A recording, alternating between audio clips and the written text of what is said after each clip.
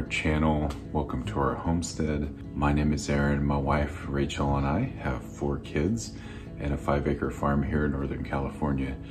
Uh, today we're part of a collaboration with Squeaky Tree Homestead and a few other channels uh, to talk about how we would start a homestead in 2022. It's kind of an interesting question because we're not a traditional homestead in any way, shape, well, in a shape or form. You know, when I think of a like a real, real homestead, it's like Ma and Pa Ingalls. I don't think you really need to live off grid and sew your own clothes to call yourself a homesteader. You can have that spirit of homesteading in an apartment. You can have a half an acre, you can have a hundred acres, you could have a thousand acres and still have this like varying degree of being a homesteader. Don't ever get that block of, but I'm not really a homesteader because I don't do this. Doesn't matter, just do it, just do what's okay for you, okay? so in that spirit, make sure you check out the links below, the other channels, and go show them some love. We've already checked them all out. If you are looking for gardening, raising animals, good family fun, good clean entertainment, any of these channels are gonna fit those needs for you. And so go watch their videos, tell them Four Kids and a Farm sent you, and uh, give them a thumbs up. So this video is how we would start a homestead in 2022. There's a lot of improvements that we already need on our homestead. And like I said, our homestead's not a traditional homestead. I have a job off farm. I work at a hospital here locally. Right now, Rachel is with our oldest son, AJ, out at his morning scripture study. So I've got the three kids here. I'm gonna make breakfast and then we're all gonna go out and feed our animals.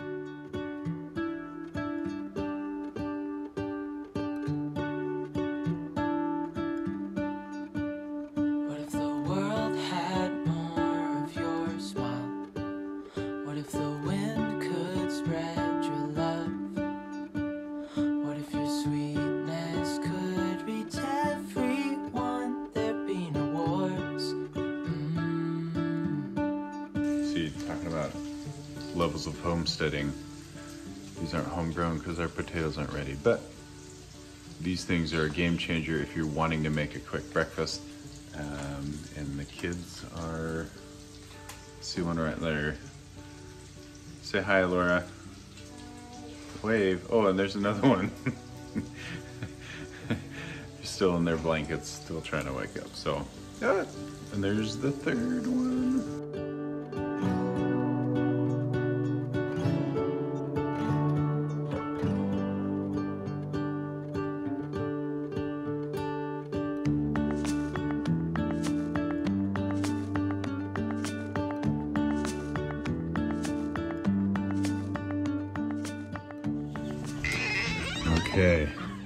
Breakfast is accomplished. It's time to take care of some chores.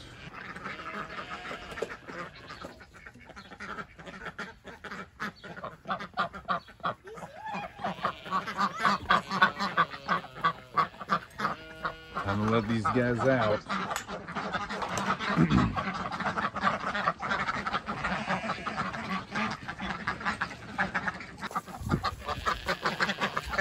to the pond.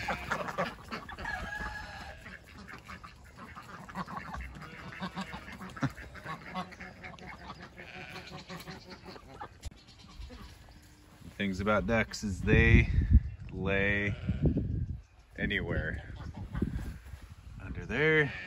Ducks are one of the funnest but dirtiest animals on our farm. Uh, they haven't made it to the pond yet because they think uh, Kate and Brixton have food for them. But they free range in our pastures. We love them to death. We get asked the question all the time, what animal should I start with first? Probably not ducks. I think uh, for the most part, if you're starting a homestead, if you're dreaming a homestead, chickens needs to be number one on your list. It just, their value for the farm, for food and for manure and for, you know, bug prevention and stuff like that is just second to none chickens are fantastic. order you some chickens. We always order our chickens through McMurray Hatchery. Actually, all of our poultry, our ducks, our geese, our turkeys, all come from McMurray Hatchery.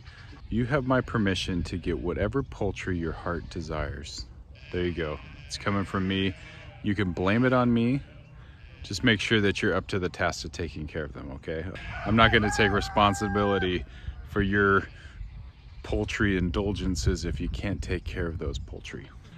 So one thing I absolutely hate about our homestead, if I'm gonna pick on myself, uh, but this is how the homestead came, okay, is the fencing is horrendous.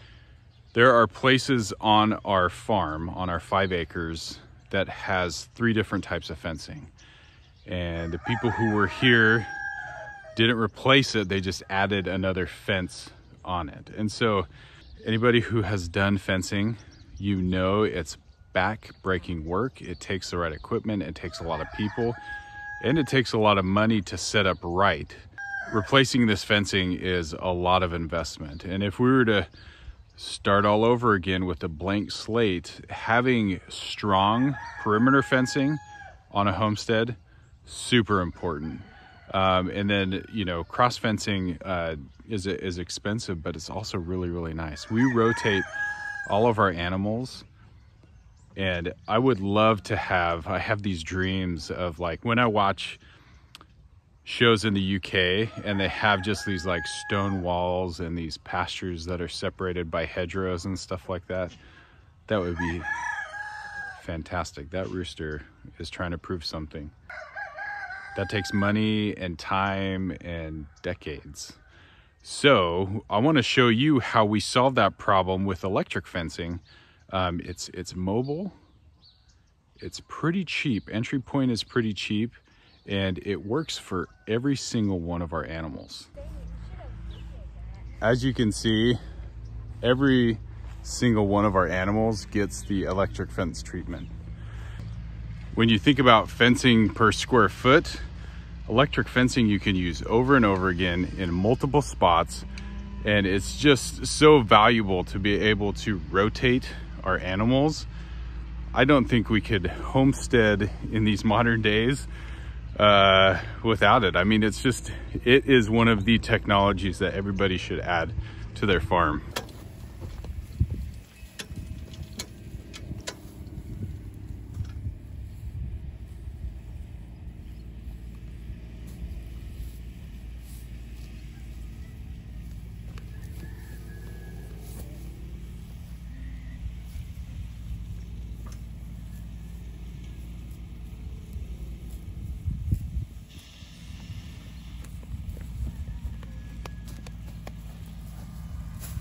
Nice. One thing that's a total game changer if you're starting a homestead in 2022 is electric fencing. Rotating your pastures with animals with electric fencing is the way to go. These are solar electric fences from Premier One.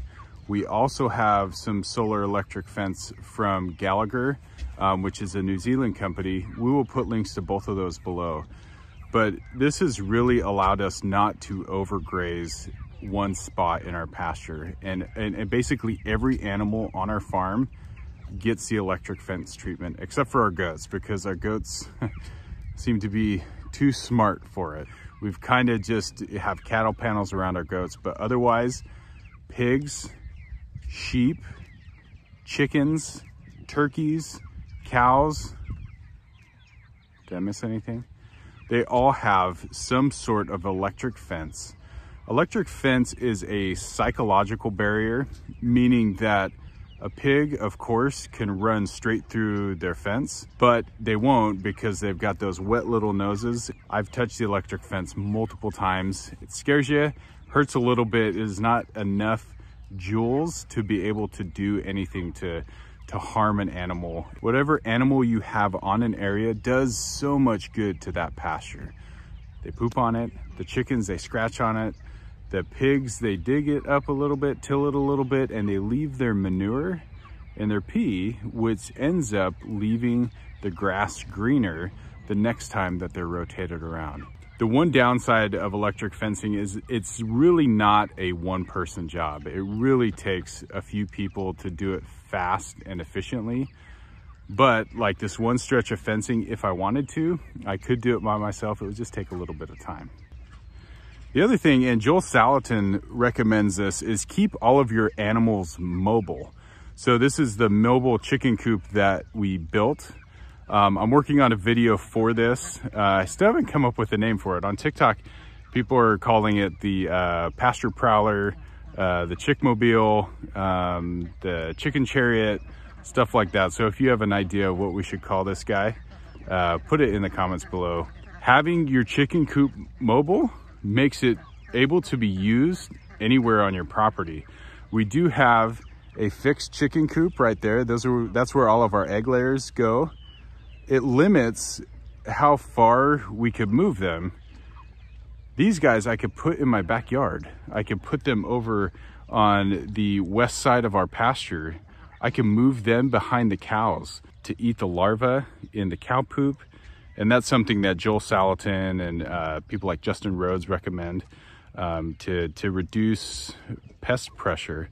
Moving an animal from one space to another gives them a clean area, a fresh area, and by the time you go throughout your whole property and come back to that place again that they first started, you're gonna have greener grass, there's gonna be less pests. It really is the standard for animal health and pasture health if you're thinking of starting a homestead, make the investment in electric fencing. You won't regret it. It makes life a lot easier. Oh, and we got the hammer. So we'll show you how we move this guy. It's fantastically easy. Um, we got the hay dolly. We'll put that on the hooks in the front. We'll move it just that way and we'll give our uh, chickens a, a little new space.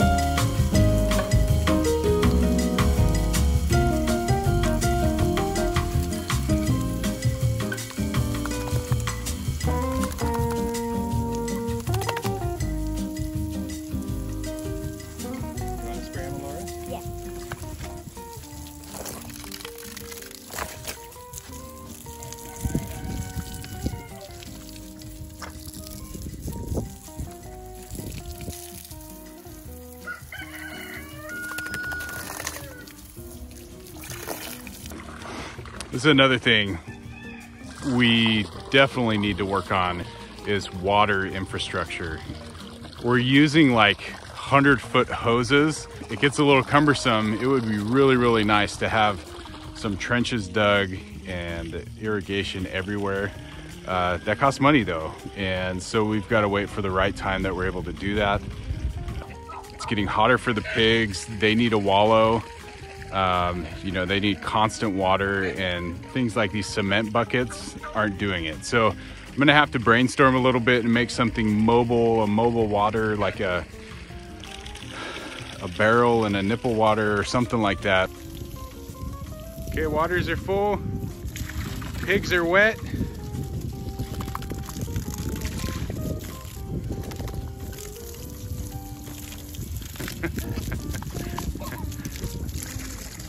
Saying?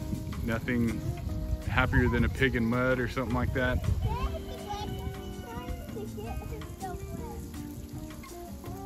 If they really, really like it. Keeping our pastures green in summer is near impossible. We would love to do it. It would save us on hay. So if you guys are starting a homestead, water infrastructure is so important uh, to making your chores easier, your animal's life happier and healthier. And uh, that's one thing that we do have to work on here, either this year or next year.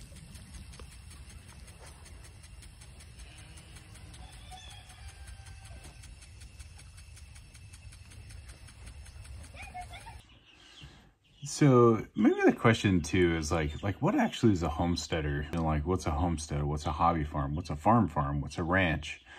Um, so this is from Google.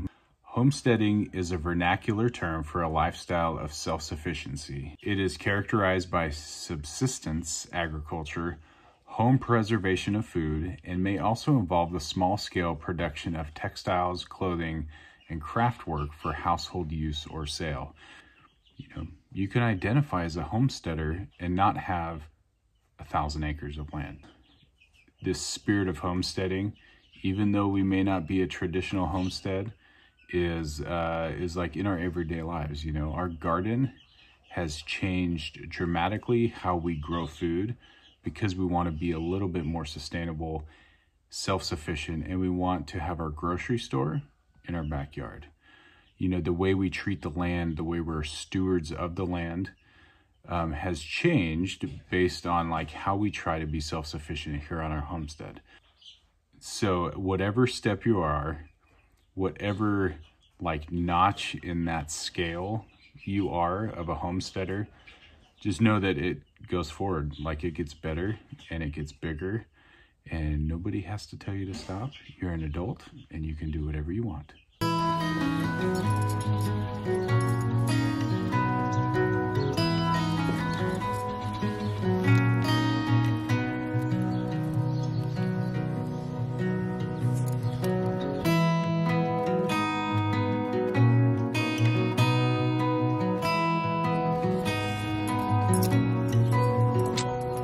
Finally showed up.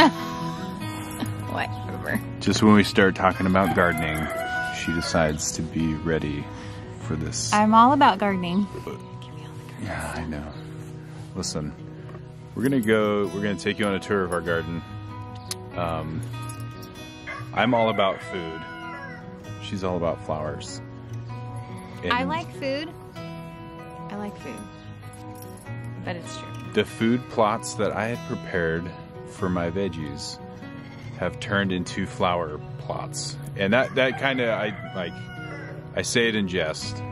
Does kind of a necessity because of we we just got this huge volume of like the stupidest flower on the planet, the Lisianthus. Like I hate them to death, but as we go in the garden, we just want to talk about like our philosophy of how we garden has changed.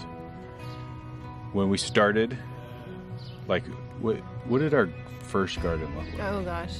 It was horrendous. We started out in these little plastic soil bags, which is super pitiful. It, was so. I think. I saw that on Pinterest and that's why I tried it. I was like, oh, this is fun. Hmm. no, no, don't. don't do it. Well, I wouldn't say don't do it. Do what makes you happy. do it. Do what makes you feel comfortable. Um, you know, because shame on us if we told you never ever do that, and somebody else does it and is super access- successful with it. You know, we just That's true. we can't be the judge of where everybody lives and what everybody does, and so you know you do you. that's the beauty of homesteading is like everybody needs different adaptations to where they live whether they're raising chickens so or whether they're raising goats or pigs or they have a garden you do you. If somebody saw our garden and criticized it you know shame on them right? Because like we, didn't know what we're doing. Like nobody becomes a fantastic gardener from the beginning. So we guys we we want to give you guys some encouragement there as well. Like your gardening journey is going to be long and hard and full of weeds but eventually you'll start growing stuff and you'll be proud of yourself So gardening is uh it's a lifetime thing. It's like there's not just one season. You're always going to be learning, you're always going to be growing. Does that make sense? Like yeah you're always going to be evolving, you're always going to be changing. our our philosophy of gardening has changed a ton where in the beginning we kind of got like the boutique fun things and the the fun seeds are great you know the the butterfly peas the blue tomatoes um, but our philosophy has changed and the and the self-sufficiency part has kind of driven us to have more of what we use all the time and less of just the like boutiquey thing that we can have in our salad on the weekend, you know. So when we grow cucumbers, we want cucumbers to pickle, to have fresh, and it's changed the varieties that we choose for those things like tomatoes. We want tomatoes fresh to be able to can. So our goal is to have our list of groceries shrink and shrink um, so that our groceries mostly come from our backyard. By the end of this year, all of our animal proteins can come from our farm. And that's going to end with our beef cow uh, that we'll butcher this year. So pork, turkey, chicken, eggs, milk, all of that is going to come from all of it comes like all of it our comes, five acres. yeah, which is crazy. so far we're like 80% self-sufficient with our meat it's it's Proteins, yeah. amazing uh, and it's delicious and it's nutritious and that's our goal with our garden like the only thing we may not have to get from the store is like wheat Yeah, we definitely not going red. is that crazy so in the beginning we started out with like those 12 count seed trays and now it's like exploded to our trays are like 162 count and we have indoor lights kind of overwhelming when we think about it because we start seeds for our flower farm and our garden every single week So this is our setup. Um, we switched over, like he was saying, to like these big fat trays. These are Hoss trays. We love them. They're 162 count and they're like heavy, heavy duty. Um, we actually had our kids jump on them just to see how heavy duty they were. We'll start a set of seeds and then we'll put them on the line. And guys, look it, not everything is going to germinate. We're trying to get better at that, but um, some of these are not all the way germinated. But what we'll do, we'll put the first thing that we've started and we'll just set it here. And then we'll continue like the next tray that we start and then the next tray and the next tray. So then when we're planting out, we can just pick up the first tray and be ready to plant it. So that's kind of like what I'm doing to keep track of everything. Um, I should write dates on the plants on the side, but I don't. So we're growing a ton of tomatoes this year because one of the goals we have is to can a bunch of tomatoes. We use tomatoes in everything, you guys, like from spaghetti sauce to um, Indian food and just it's a filler for soups, like for everything. And so um, we have a bunch of Hoss tomatoes that we started. We love Hoss just because they have like a high germination rate. They're such a good company. Um, we do work with them and so we just love them. And so that's one of the goals is to have canned tomatoes down the road. So wish us luck on that because that's a new adventure. We haven't like canned tomatoes like this. I haven't personally. Like my mom's done it. Have you done it? Of canned tomatoes yeah. Yeah. Aaron's done it but i want to personally do it so. Anyway. And then there's these are peppers right?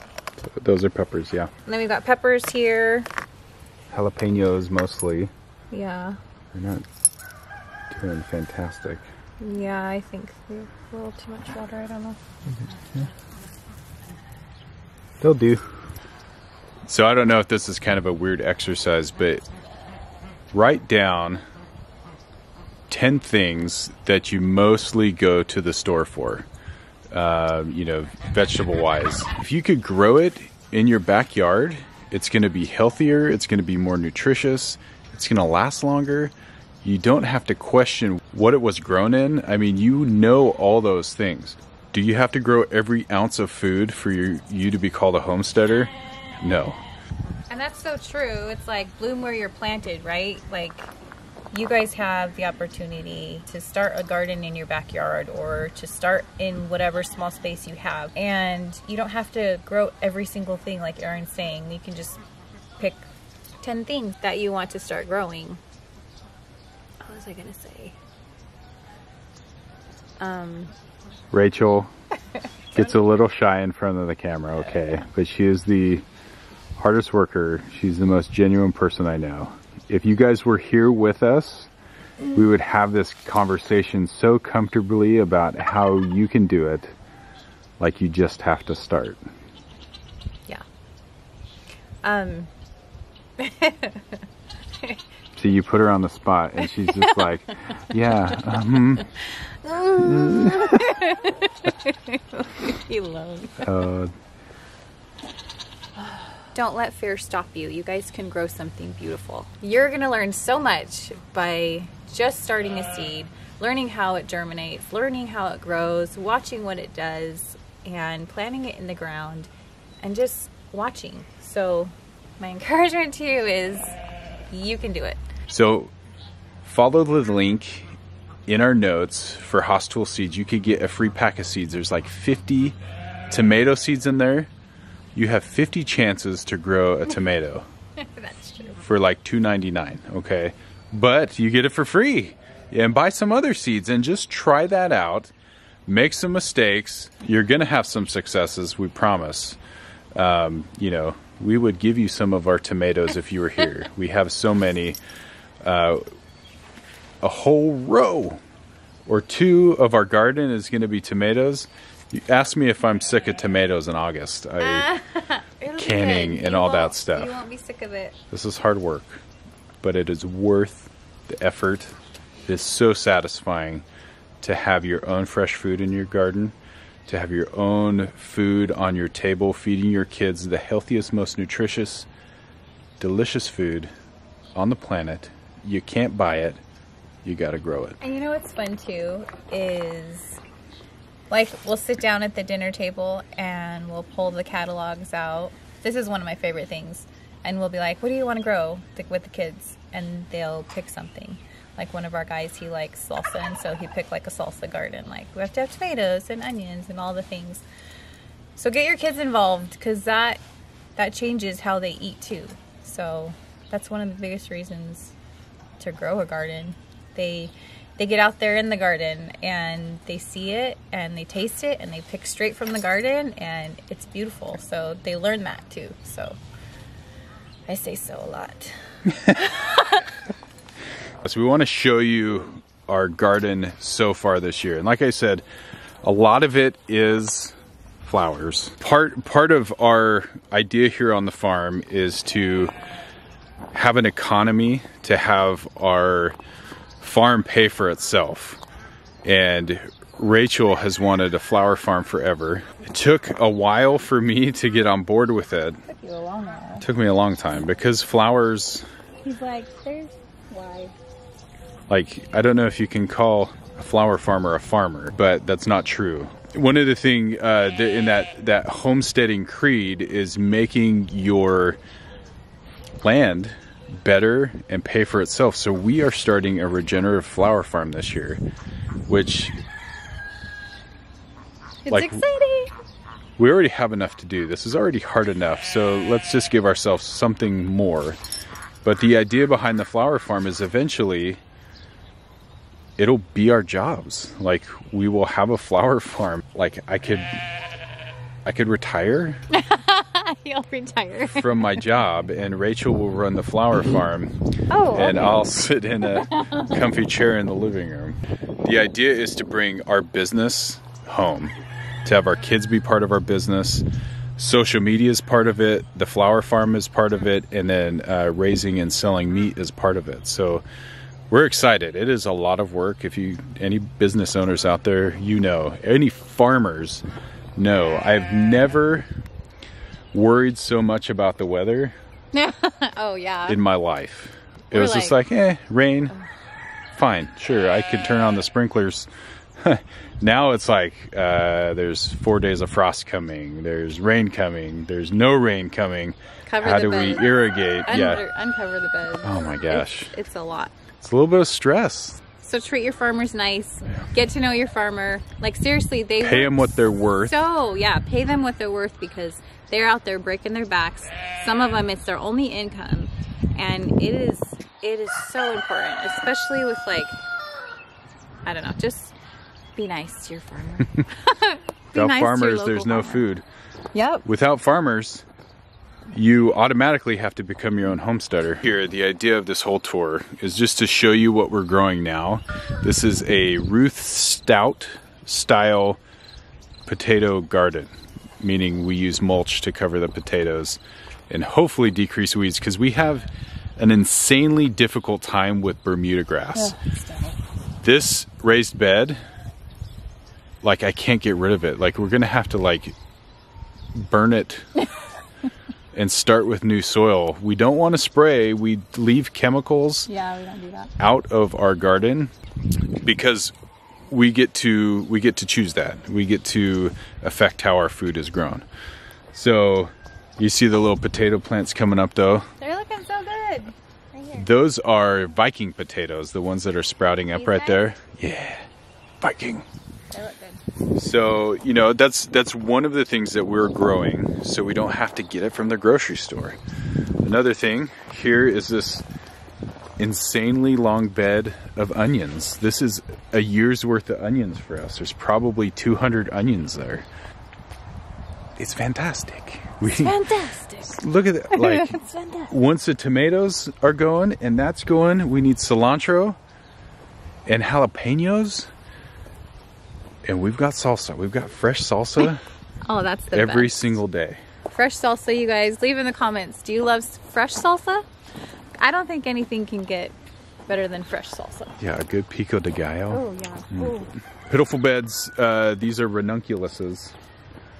Don't For- be renunculous. I don't know why they're not doing very well. We've gotten uh, some really crazy weather here in California. I think it's like the heat fluctuation. Yep, it gets warm, it gets cold. I know everybody has those problems, but and that's another thing. Some years when you're gardening, you're going to have like a bumper crop, right? And then other years you're not going to get a single anything. Or is it This is our garlic. So this is uh, elephant garlic, and these are uh, red Russian garlic. All these white sheets are the covers for frost yeah. for some dumb dumb reason I can't keep the cats out of here. Like Yeah. look at they they just love this Stinker bugs. carrot bed. Um, I don't know what to do about it, Yeah. You but at least two- I don't know. we'll have some carrots. Um, and then we got our lettuce bed, which once again it didn't start out doing very well, but now it's doing fantastic. Yeah, it's doing really good. Uh, we need to start some more uh, lettuce, Lettuce? by the way. yeah. Yeah, we should do that today. I'm starting lettuce and cucumbers.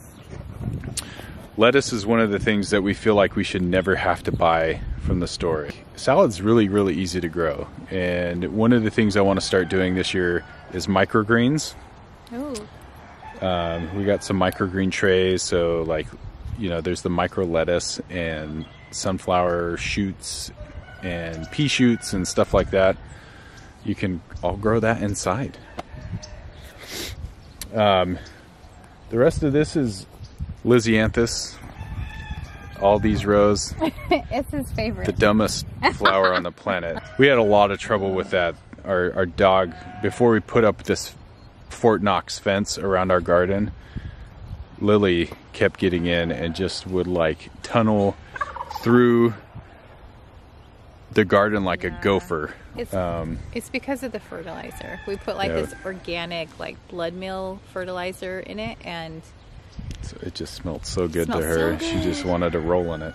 so you have dogs, be careful about that. We have uh, those really, really green rows. Those are all cover crops. So that is where uh, the seeds we start today, cucumbers, squash, uh, and things like that is going to go. We're going to mow that down, uh, get the BCS in here, and get the harrow in there, and like mix up the dirt and get it all ready uh, for for actual food not flowers. So these are our cover crop beds. There's hairy vetch and rye in there. So Maybe that is yeah, it is uh, Cover sorry. beautiful. Cover crops are super good for your soil. So hairy vetch adds nitrogen to the soil. If if you're new to cover cropping, you know, in between crops, there's certain plants that you can put in that will add root structure and nutrients and uh, weed suppression uh, to your soil in between those crops, and th those are called cover crops. Uh, buckwheat, sun hemp, hairy vetch, rye. You know, all those things have a purpose. Um, and you know, for our garden, we we like the nitrogen fixing that legumes do, like clover and hairy vetch. You got to think of the soil as a bank. When you grow a crop like corn, it takes that nitrogen and nutrients out. How are you going to put that stuff back in? and cover crops really really help with that when you're gardening you want to also think like you're you want to feed your soil so yeah this is such a big help to that yeah so all of this is ready to go so i've got one more chore to add to my list of chores so that's our garden we do have two other plots that we'll be planting flowers in we've already started on the west side um, sunflowers and zinnias. zinnias warm and, season crops. Yep, and we're going into those warm, tender annuals, right? Is that what you call them? Yeah. The cut flowers that that we'll, we'll bring to market here, trying to make Mother's Day. Trying, we have to make Mother's Day. What you talking about, Willis? oh my gosh, we have to make it. we don't have a choice. We don't. To sum up, a homestead is whatever you make it. It's going to be whatever works for you and your family. But the essence of being a homesteader is growing for self sufficiency, being sustainable, being a good steward, and and learning how to grow your own food. The other thing I would add on there is learning to be part of a bigger community than yourself because nobody is going to make it by themselves. Um, having friends and family and taking what you have and spreading it out to others, whether that's the zucchinis that you drop off at church or whether that's inspiring somebody else by them coming to your place and seeing what you do, that's going to make a bigger difference than just you growing for yourself.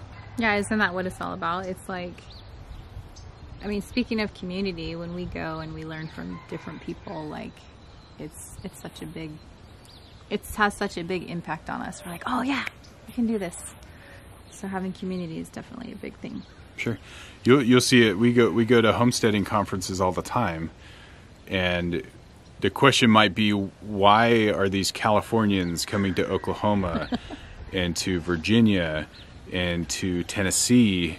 And it's because we love the people we meet there and we love the things we learn there. Homesteaders of America, Sean and Kevin putting together the Okie Homesteading Expo, I, it was just great. Like every minute of that time was a learning experience and a chance to uh, like increase the size of this community, which is fantastic. There's such a fire with so many people right now to get into this kind of lifestyle and it's a hard lifestyle.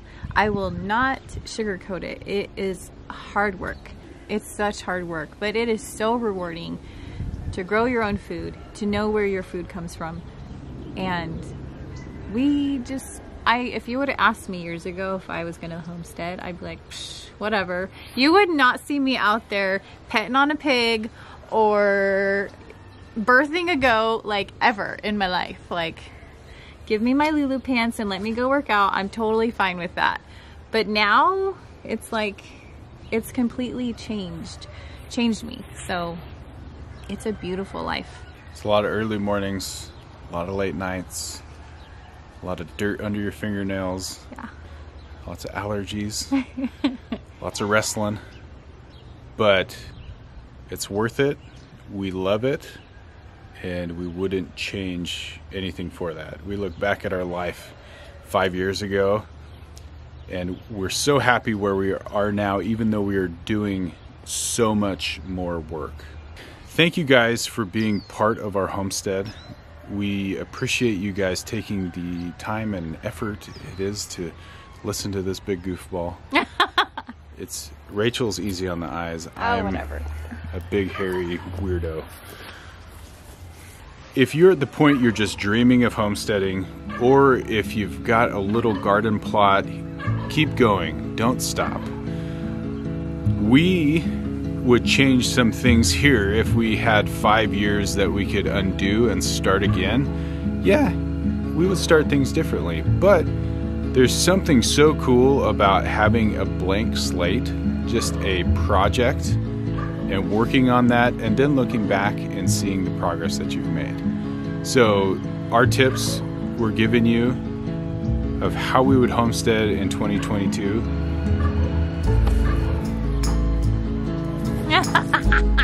this happens every single time, it, without fail. Super rudely interrupted by the neighbor's garbage guy. That happens more than you would think. Something flies over, an animal starts making noise. You know, our advice is going to be different than everybody else's advice. And so do what feels good.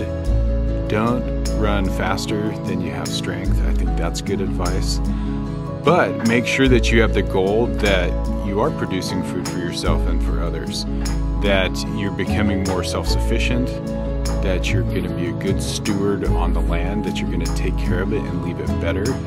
And make sure that you have goals to make your homestead an economy because it is expensive. But it's a very good economic learning opportunity if you've got kids. Selling eggs by the roadside helps pay for feed and it helps them to learn the value of money and hard work. And so that's homesteading in a nutshell. That's why we do it because we want to raise our family doing these things. And so as you go to the other channels and watch their videos, learn from them and then take the little nuggets that you like and add it to your little basket of information. And pretty soon, as you homestead and farm and grow a garden, you'll have those tips and tricks to give to other people as well. Thank you guys for being part of our channel today. We hope you subscribe. We hope you like this video. Leave us a kind comment, and we'll see you next time.